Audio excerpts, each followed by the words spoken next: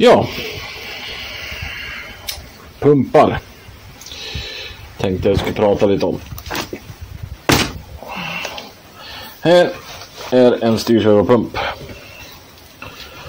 Och ska ta och ge lite tips och lite råd och lite vad det mer. Vi gör sådär. Någonting.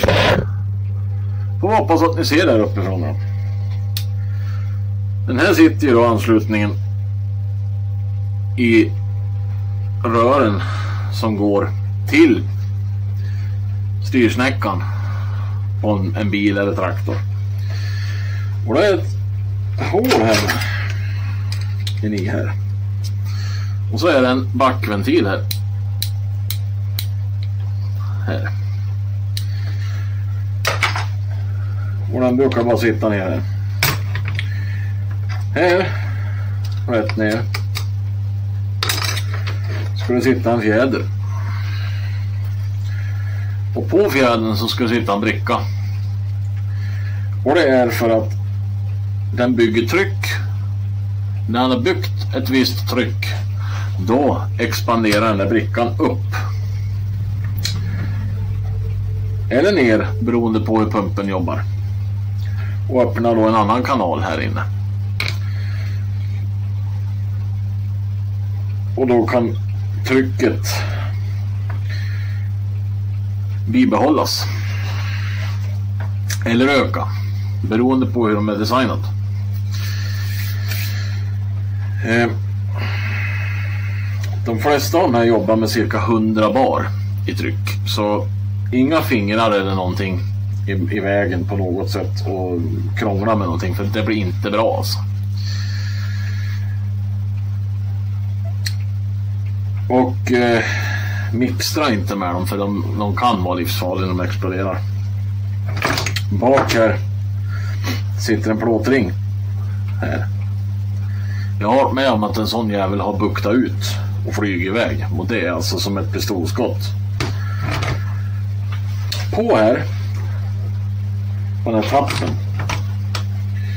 så eh, sitter det ju då en remskiva. Jag tänkte jag skulle se om jag hittade gårdagens skiva. Och den ligger här. Så, så ställer vi den sådär, mina vänner. Och så här ser de ut, en del. Trekantig. Jag tänkte jag skulle ge lite tips om hur man tar av en sån här skiva. För att det är inte bara, ska ni veta.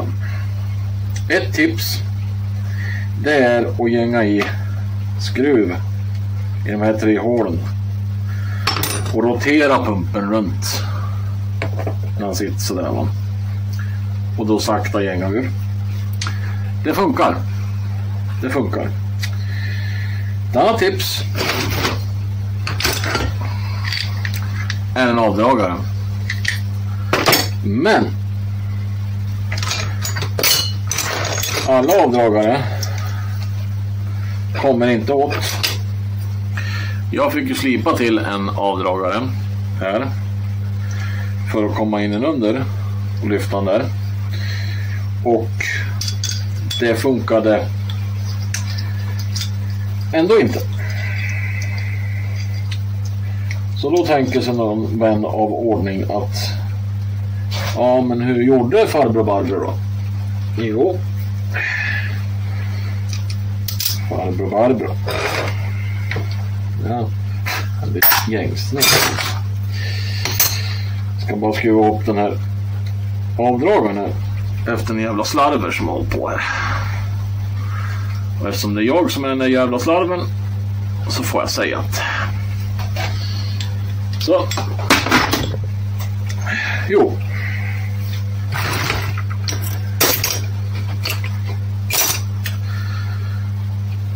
Jag satte den här i skruvstycket. Och då fick jag den att ta två klor emot. Och hur gjorde jag sen då? Jo, mina vänner. Jag tog en M10 bult och skruvade ner här i mitten. Och kunde då knacka på den. Eller hur? Det betyder ju att jag trycker pumpen genom jävlar genom eh, skivan och ut för det finns ingen gäng här. Och naturligtvis så värmde jag det här innan jag började leka med grejerna.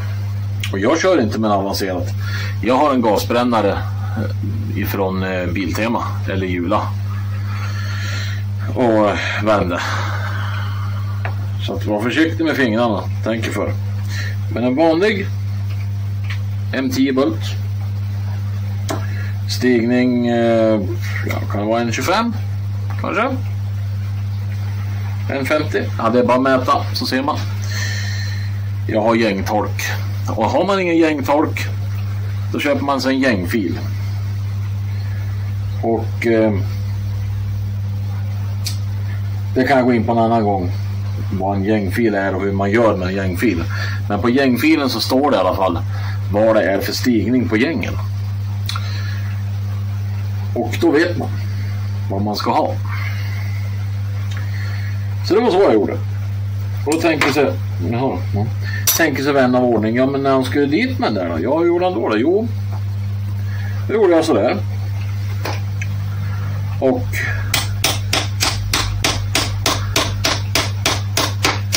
sakta men säkert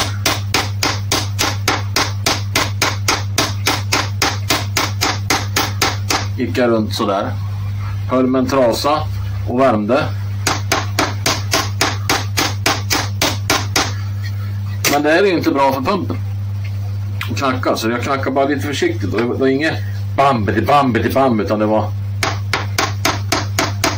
precis som när den knackar packning och det har jag för mig att visa er. Hur hammaren jobbar i handen va. Det, det här är ingen kraft utan man tittar så ser man att det är inte handleden som rör sig. Utan det är hammaren som rör sig. Så gör ni så här och ni känner slaget i handen.